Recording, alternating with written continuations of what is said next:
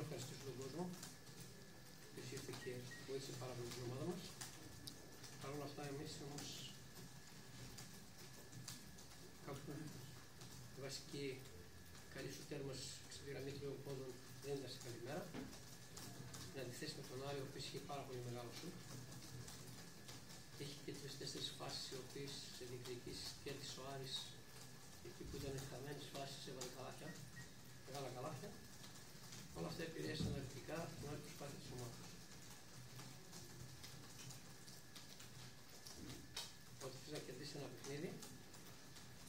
Σίγουρα πρέπει να καλύψει τότε τη ρακέτα σου και να μην δέχεσαι